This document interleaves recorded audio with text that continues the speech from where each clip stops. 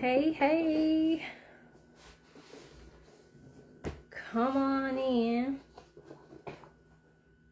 We'll get started in a few minutes. We won't be before you long. Come on in and say hi.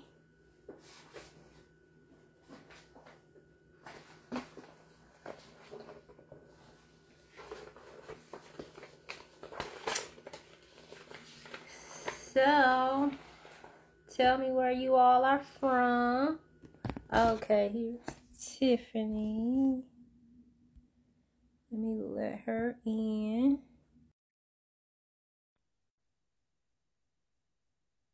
And let me. Hey, hey, hey. Tiffany. What's going on? Nothing. Waiting for our people to join, waiting for you to come on. All right. I'm gonna put the pin the comment. Okay, yeah, that's what I was trying to uh I was about to do. I was like, make sure we get the comment pinned in there. How you doing, everybody? Yes. Let us know where it. you're from. Okay, thank you.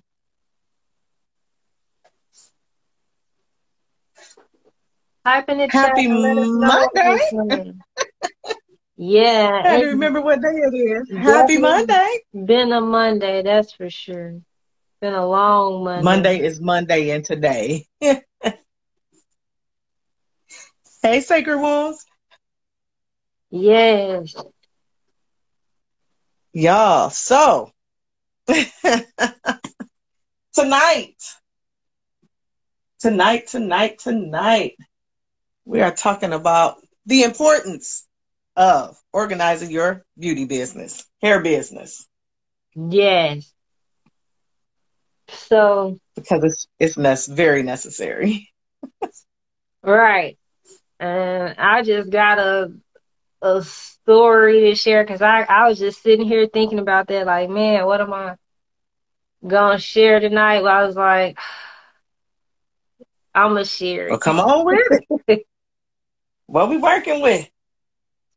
Um, oh, so before I get into that, um, I just want to make sure we introduce ourselves. So for those of you that don't know me, um, so I'm trichologist Precious Rutlin, and what I do is I teach hairstylists and consumers like my eight phase hair regrowth system so that they can have healthy hair. So what I find is, is that you're not being consistent and don't have a steady regimen as far as like your hair and healthy gr- hair growth, that impacts uh, everything that you do as far as like what you're looking for. And so there's just been so much on how, you know, the stylists, the barbers, we're the forefront and we're seeing clients, you know, at the start when they're experiencing hair and they're not able to um, direct them you know, it's soon enough to start getting help. And so I'm starting the movement where we're getting a, in front of this and taking a more preventive measure uh, to help our clients and consumers. Tiffany? Okay. Hey, everybody. Thank you for joining. I am Tiffany Nicole. I am a certified hair loss specialist. What I do is I help women recreate the hair that they love, right? Um, if they're experiencing hair loss, what I do is provide non surgical hair replacement solutions for them. And, you know, the goal is to make it look as natural as possible, give them the hair they used to have maybe, you know, months or a couple of years ago. Um, that is what I do on the consumer side. And for beauty professionals, I am a cosmetology career coach. I help you grow your business from graduation all the way up to grand opening. So we are here tonight to talk to the beauty professionals and just talk about why it is important to have your business organized. We have to get this back in organized. It's necessary. Right. You're not doing business if you're not organized. Period. And um, so before we get into that, if you look in the comments for those that are interested, we are doing a workshop that's coming up in December. I want to say it's December 4th. And so essentially mm-hmm. what we're doing, it's going to be, uh, I believe it's a two hour, three hour workshop. And we're doing a deep dive with you so you can be prepared going into 2023 setting up your business so that you can make the income that you want to make and be able to service the, your current clients and get your new clients. Did I forget anything? Anything else you want to add? No, you you you covered it. I mean, that's just it. We want to help you get your business set up for next year so you can go into the new year with your back end organized. You'll be able to see how your business is doing. You'll be able to see what position you are in um, with your business, what you can and cannot do, where you need to, you know, focus your energies on at any particular time because you will be organized. So you'll be able to view the information, the analytics. Yes, definitely. So we definitely got it jam packed. We even got like some prerequisites, so some work to do. So that way, when you show up to the workshop, we going in working with you guys individually, so you can be set up. Because um, that's one of the things that I wish I had a had, like when I first got into being the mm-hmm. cosmetologist, mm-hmm. it's like I didn't have people like to really show me the ins and out and how to set up my business. Uh, and it's like now, like I'm creating that type of stuff like that. I wish I had have had. So definitely take advantage, um, you all. Hey Monet, thanks for joining. but yeah, ah, thanks everybody for coming in. We see you all coming. Come on in. Yeah, so um, again, so like Tiffany said, so tonight's topic was about um, definitely organizing your beauty business. And so one of the stories that I wanted to share, and I was kind of like, dang, should I share this? Should I not? It's kind of like you should know better. Like you, you've been doing this for how long? You ain't got it together. So one of the things that would um, bother me is because like when I first started out in business, like I wasn't making that much income. And so whenever it came as far as like tax time, I'd always be dragging my feet and gathering up all of my papers, gathering up all the information for the tax preparer. Like it was just because of a humdrum because like I didn't make the profit throughout the year that I wanted. So then it was like, you know, just going through this whole mental ego thing going on like I should know better or I made the money then I didn't know where the money went and it was just being embarrassing. And so mm-hmm. uh but when I had to step aside and really put my CEO hat on and start looking at the numbers and like really cracking down like okay mm-hmm. if I want to make a living out of this and this is my career and this is how I'm taking care of my family then I need to pull it together and so that was like one of the biggest lessons uh for me as far as like you know just keeping up with the paperwork so then I had to start thinking about okay what can I do to make this easier so every time it comes around for tax time, I'm not scrambling. So then that's when I started getting organized and started doing, I guess, like monthly instead of waiting to the year end to go back and calculate transactions and how much I spent on the splash. Mm-hmm. Like I started breaking it down monthly. And then when I seen I was falling off monthly,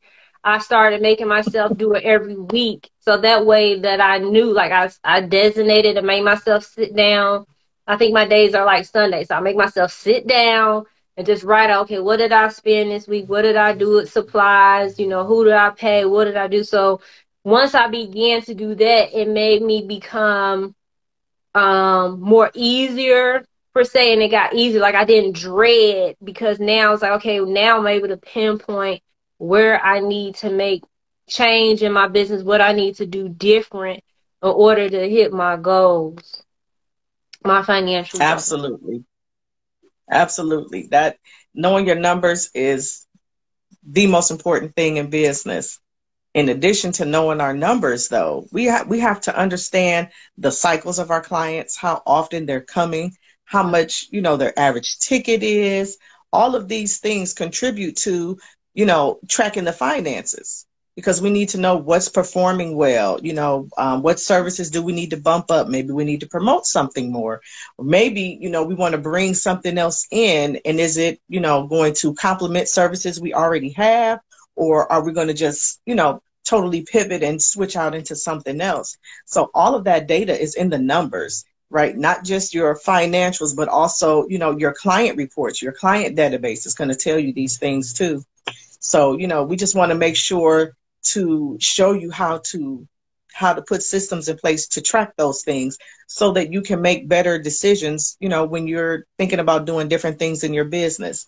And like precious was saying about your financials that's definitely going to i know you guys hear people talking about business credit all the time. Yeah that's not our lane but it's important right? So the things that we're going to show you will help you have your paperwork in order for when you go to you know try to acquire funding and things like that. So we're, we're not here to teach business credit but mm-hmm. the things that we're going to put in place for you help you put into place will help you be able to better secure it when the time comes. Yeah you was talking you know, and just, i lost train of thought. It was something else i wanted to follow up on and share with them. It was real good too.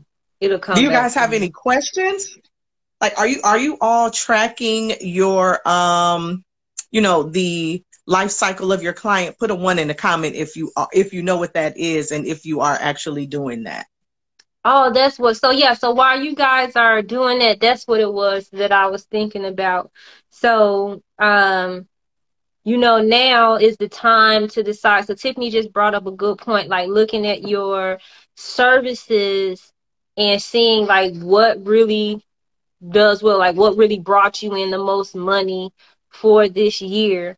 So then like um, by you knowing your numbers or what can what can you add to bump up a client's ticket like she was um, mentioning so like you want to jot those things down so that way if you want to do a price increase going into the new year starting January, like now is the time that you want to start letting your clients know so they can be prepared. Because mm-hmm. you, the last thing you want to do is just pop up and then January come or their first service comes of the year, and you're like, oh yeah, well by the way, I increased my my services or your price, and now you know I was getting this uh, mm-hmm. natural uh, washes set for 65 and now it's you know 95 like you got to be able to prepare people and tell them up front so they can know how to plan and budget. Um, but you mm-hmm. really need to you would know those things by tracking uh, you know how your services perform during the year and what more you know who your clientele came what was the most things that they bought. Um, and then uh, plan accordingly so I, I mean, I thought that was really good just because, like, again, that was something else that I didn't know. and I, I, had to find out on the job per se, learning. So again, most of it we did that we're me and Tiffany talking about and implement, guys. This is like free game here, so you can only imagine like what the workshop is gonna be like. But man, just just take what we giving you here and you can run with it. Just that's what we give you. So how are you all communicating with your clients? Do you use social media mm-hmm. to communicate with your clients or do you use something else? You know, we all had the glitch was going on just a couple of weeks ago. I know you all remember um, earlier up in the year when it was just down, people's accounts were just down for no reason. So this can't be like your only um, mm. communication with your clients. So we are going to actually talk about that and the best ways to do it. Um, and actually, you know, go through some flows to help you communicate effectively with your clients. And that, that's a good point. I still um, even with my private one-on-one clients, like I still always try to figure out what's the best way with them because everybody is busy. And then one of the things that I used to bother me is that like not everybody checks their email. So it's like, well, Dag, I need to just start moving over to text message because, like, I think people are to be able to answer their text. Yep. Sacred Womb. That's yeah. what Kenyatta's saying. Okay. She uses email and text marketing. Absolutely. Because different clients, like Precious is saying, respond to different things. And they're more than likely, most of them are on both lists. So if they miss it in one place, they'll catch it in another one. Yeah, so that was one of the things. You know, nowadays they have like analytics, like I think even on the free emails like MailChimp and so forth, like you can open up to see, you know, how many people are actually open up your email. Are they actually um, being responsive? Mm-hmm. So that's another way you could mm-hmm. tell like who's paying attention to your emails is just like ask them a question so they can respond back to you. And that just shows your customers that and your clients that you know you're interested in you're invested yes. in them too. And that's a, a part of what we've been talking about and what we're also going to be teaching on the client customer journey. So. that's big. That's big. There's so many components to it and i really want to hone in on that when we get into the um, class. We did a training just a couple of weeks ago, and you guys missed it. Mm-hmm. So um, there will be a short recap of that because the information is somewhat the same, but we are going to just go really deep into um, the customer journey and the um, you know the back end paperwork. So we just want to make sure that everybody is set up to be successful in their business next year in 2023 everybody's planning you know goal um, vision board parties and things like that. We actually want to get to the work and you know get your business set up. The vision parties is cool you know that's fine but that's not what's going to help you make decisions in your business whether you should you know stay in the location you're at add more add a team things like that. These are some of the things that you will be able to decide once your back end is set up and you can see how the customers flow, how your finances flow, and things like that. So we just wanted to um, come in and drop some of that on you and see mm-hmm. where you guys were at. I see a couple of people, you know, are communicating with their customers outside of social media, and that mm-hmm. is just the best thing. It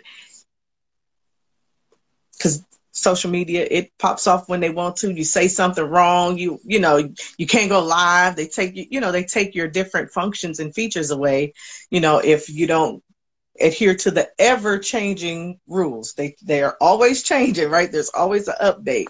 So you need to be able to have um, some form of communication that you can control Absolutely. Um, did we have anyone drop in the chat? Like, um, just curious, like, what are some of the things that you're doing to help you keep your beauty business um organized? Like, is there a specific like software or tool that you like to use? Maybe StyleSeat, um, anything like what are you guys using to keep organized? I can't tell. I don't know my my screen froze or not.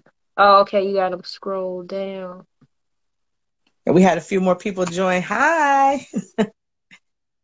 Hi, Dr. Linda. How are you? Thanks for joining. Okay. I cannot see. Hey, Kinky Controller. Hey, how you doing? So if you guys have any questions that you want to drop, um, there's a little question mark right next to the comment box. You want to drop your questions in there so we can answer them. That'll be good. Because when these comments come through, sometimes we can't see them all, especially with the split screen. It's a little harder. So we don't want to miss anybody's questions. If you have one, just drop it right in that little question um, question mark box. Yep. Um, and then so I'll go ahead while we're waiting on you guys to drop. So I'll just introduce myself. Um, so this your time coming in. My name is trichologist Precious Rutlin, and so I teach um, hairstylists as well as consumers my eight phase hair regrowth system so that they can have healthy hair. Uh, what I've been finding is, you know, that barbers and stylists um, you know, we're the forefront as far as helping the clients. We're going to see their hair loss or hair issues uh, before it even starts to get worse. And so it's like uh, like the trichologist, like or the dermatologist, like the clients, like we're always like the last ones that people come to uh, for their hair. So what we're doing is we're reaching out to you all, training you up as the professional, the hairstylist, uh, and really giving you the tools and knowledge um, that you'll need to be able to service your clients um, and help to uh, take a holistic and preventative approach against hair loss.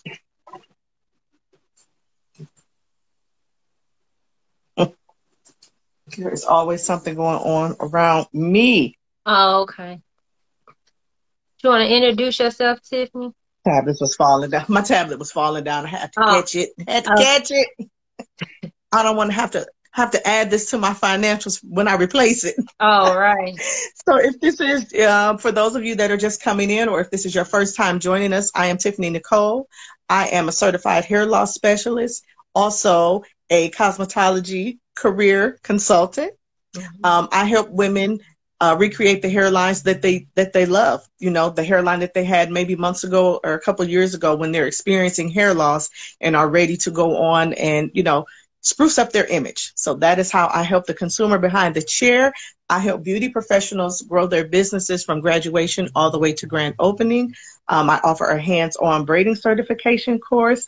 I also help you all set up your back end. So um, yeah, this is why we're here, and we have come together to collaborate on a uh, workshop in December, setting your business up for 2023. The link is right there um, in, the, in comments. the comments. So if you want to go, yep. Did you pin it? No, you pinned it earlier. I see it. Do you want me to pin it? Okay, let me try. Let me see. I'll pin. Yeah, it. I can't pin it because you started. It's oh. it's on your platform. Okay. So I can't pin it. In just a second. Here you go, guys. At least it wouldn't. Okay. Hey, Shy Styles, how you doing? Hi. Well, so yeah, we so are right going now- to um, save this one for a replay. I see a few people are coming in at the end of. Um, we're pretty much wrapping up, but we are so happy that you joined. If you go and watch the replay, leave the comment replay, and you, if you have any questions, we will come back, you know, and answer those questions. There it is. Yeah, and so we were just inviting you all for those that are coming on. Definitely check out um, our event, our three hour workshop that we have coming up is going to be on December 4th. And we're really going in, helping you as the stylist, the barber, beauty professional, whatever you are, getting you set up for your 2023. Um, so we're going to be going into a deeper dive as far as like your pricing structure, what you need to do to build your clientele, how to properly conduct uh, you know, a client consultation, you know, learn the difference between a client and a customer. Um, you know, so we're gonna be mm-hmm. dropping all kinds of nuggets here. Uh, but uh, Tiffany and I Absolutely. did mention some great gems Absolutely. even during this live just here. So go back, uh, listen to the replay, um, and you can start running and implementing some of these things right now um, that we're dropping. But we definitely love to see you all in December. I don't think I've seen any questions. I'm going back. Okay. Well, we are um, going to be here on next Mondays. We will mm-hmm. be going live on Mondays between both platforms, between um, Instagram and Facebook. So make sure you turn on your notifications so that you can know where we're going to be at and what we're going to be talking about. So we want to thank you all again for joining. Um, I don't think I see any questions or anything.